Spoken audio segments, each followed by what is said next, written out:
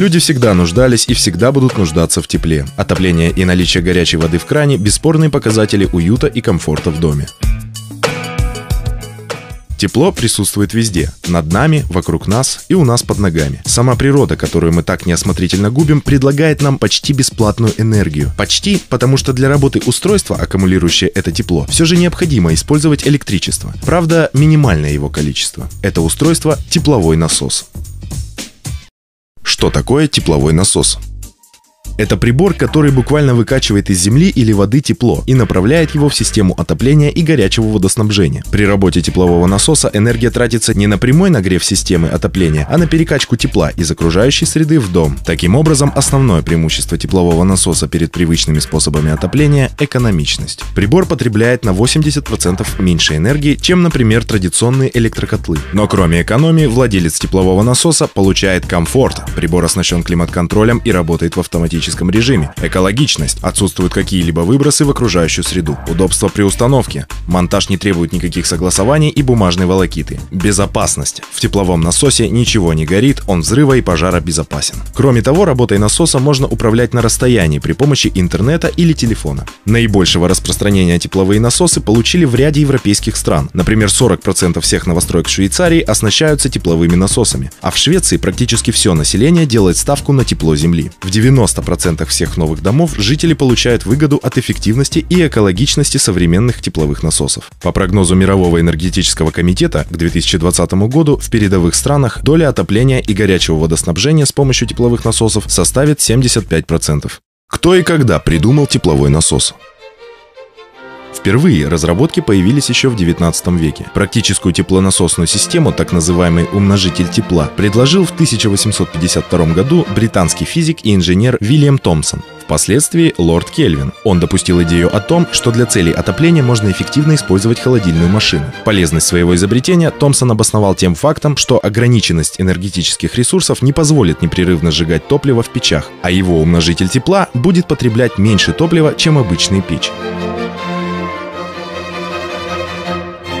Как же работает современный тепловой насос? Людям непосвященным может показаться, что тепловой насос – это техническая диковинка, которую редко увидишь. На самом же деле с тепловыми насосами сегодня знаком даже ребенок, поскольку обычный домашний холодильник – это тоже тепловой насос. Только наоборот. Он выкачивает тепло из морозильной камеры и отдает его трубчатой решетке радиатору за задней стенкой холодильника, которая от этого становится теплой, а иногда даже горячей. Охлаждая морозильную камеру, холодильник согревает комнату, в которой установлен. Таким образом, холодильник по сути своей не устройство по созданию холода, а скорее машина для переноса тепла из одного места в другое. Тепловой насос имеет почти ту же конструкцию, только он более мощный и автоматизированный. Из каких элементов состоит тепловой насос? Перед нами одна из моделей теплового насоса Гиперион CRV-12.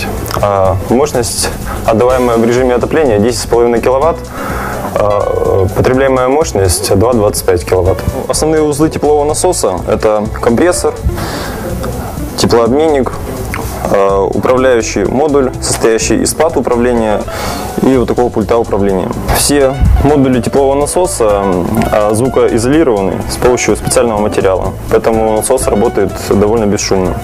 Один из основных элементов теплового насоса заслуживает более пристального внимания. Это компрессор. Дело в том, что за всю историю применения тепловых насосов наиболее значительные конструктивные изменения коснулись именно этого устройства, где низкотемпературное тепло преобразуется в высокотемпературное. А начиналось все с поршневых агрегатов, громоздких и малоэффективных. Затем их сменили винтовые компрессоры, которые сейчас работают в мощных промышленных тепловых насосах. А небольшие бытовые модели почти все оборудованы спиральными компрессорами, которые способны работать даже при экстремально низкой температуре окружающей среды и имеют большой моторесурс. Годом их изобретения считается 1905, а изобретателем французский инженер Леон Круа. Что же собой представляет спиральный компрессор и как он работает?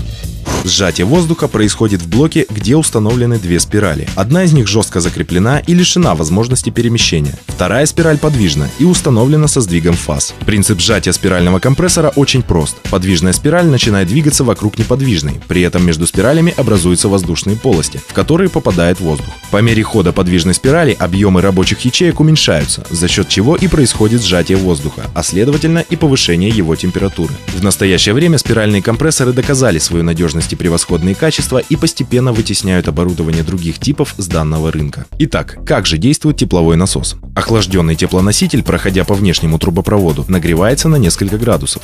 Внутри теплового насоса теплоноситель, проходя через теплообменник, называемый испарителем, отдает собранное из окружающей среды тепло во внутренний контур теплового насоса. Внутренний контур теплового насоса заполнен хладагентом. Хладагент, имея очень низкую температуру кипения, проходя через испаритель, превращается из жидкого состояния в газообразное. Это происходит при низком давлении и температуре минус 5 градусов. Из испарителя газообразный хладагент попадает в компрессор, где он сжимается до высокого давления и высокой температуры. Далее горячий газ поступает во второй теплообменник – конденсатор конденсаторе происходит теплообмен между горячим газом и теплоносителем из обратного трубопровода системы отопления дома. Хладагент отдает свое тепло в систему отопления, охлаждается и снова переходит в жидкое состояние, а нагретый теплоноситель системы отопления поступает к отопительным приборам. При прохождении хладагента через редукционный клапан давление понижается, хладагент попадает в испаритель и цикл повторяется снова. Откуда именно тепловой насос может черпать энергию? Источником тепла может быть любой объект с температурой выше 1 градуса по Цельсию. Незамерзающий грунт на глубине, вода в реке или озеро подо льдом, вода в море, вода из скважины, канализационные стоки и так далее. Этого тепла хватит, чтобы выдавать на выходе до 60 градусов. Для получения наибольшей эффективности теплового насоса необходимо правильно обустроить геотермические источники тепла.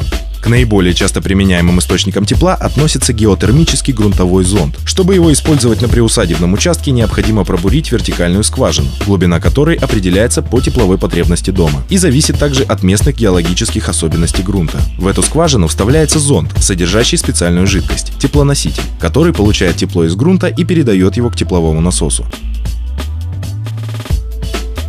Нередко вместо вертикальных геозондов применяются геозонды наклонные. Их использование обычно обусловлено рядом причин. Например, местом установки, так как не на всех земельных участках есть возможность уйти на большую глубину при бурении скважин. Горизонтальные грунтовые коллекторы также используют тепло Земли, но не через глубинные скважины, а через большое геоколлекторное поле, которое укладывается ниже границы замерзания грунта. Если есть грунтовые воды, рекомендуется применение колодезной установки, из которой теплая вода с температурой примерно 10 градусов направляется к тепловому насосу, где отбирается часть тепла. Охлажденная примерно до 3-6 градусов, вода возвращается в грунт. Для получения энергии используется также уличный воздух. Он выступает в роли источника низкопотенциального тепла. Отобранное тепло передается к тепловому насосу, который работает на повышение температуры. Затем тепло поступает в систему отопления. Как сделать работу теплового насоса эффективнее? Продуктивность работы теплового насоса зависит не только от источника тепла и способа его получения. Немаловажную роль играет установленная в здании отопительная система. Наиболее эффективно тепловой насос работает в тандеме с системой теплый пол или с фанкойлами, вентиляторными теплообменниками. Дело в том, что тепловой насос работает продуктивнее при температуре от 45 до 55 градусов на выходе, что как раз и соответствует температурам теплоносителя в упомянутых отопительных системах. При работе с радиаторами эффективность тепловых насосов будет снижаться, в этом случае потребуется существенно увеличить мощность радиаторов. Если же оценивать эффективность с точки зрения экономических показателей, то наибольшей производительностью обладают комбинированные генераторы тепла. Например, теплонасосно-солнечная система. Принцип ее действия заключается в объединении работы теплового насоса и солнечного коллектора. Когда солнечной системы достаточно, коллекторы полностью обеспечивают нужды системы отопления и горячего водоснабжения. В это время тепловой насос не работает и, соответственно, не потребляет электрическую энергию, сохраняя свой моторесурс. При недостаточном количестве солнечной энергии гелиосистема все равно вырабатывает вырабатывает минимальное количество тепловой энергии, а остальное тепло вырабатывает тепловой насос. Стоит отметить, что установка с тепловым насосом имеет два режима работы – зима и лето. В режиме зима тепловой насос работает по обычной схеме, берет тепло из скважины и отдает его системе отопления. При включении активного охлаждения в режиме лета тепловой насос подключает между скважиной и системой кондиционирования и заставляет его работать в обратную сторону, то есть брать тепло из системы кондиционирования и отдавать его скважине. Как же рассчитать необходимую мощность теплового насоса для отопления вашего дома и не ошибиться при выборе геозондов? Все расчеты производятся инженером-проектировщиком по специальным методикам. Чтобы определить требуемую мощность теплового насоса, для начала потребуется рассчитать тепловые потери проектируемого здания. При этом учитываются все основные параметры дома – материал, из которого он построен, ориентация по сторонам света, количество и размер окон и так далее. Определив тепловую нагрузку здания, можно переходить к вычерчиванию теплового оборудования на участке. Это нас э, колодец, в котором будет расположен коллектор для геозондов. И далее, так как мы определили тепловую нагрузку, мы теперь знаем необходимое количество и длину геозондов. Мы их располагаем на свободной от застройки э, площади на участке.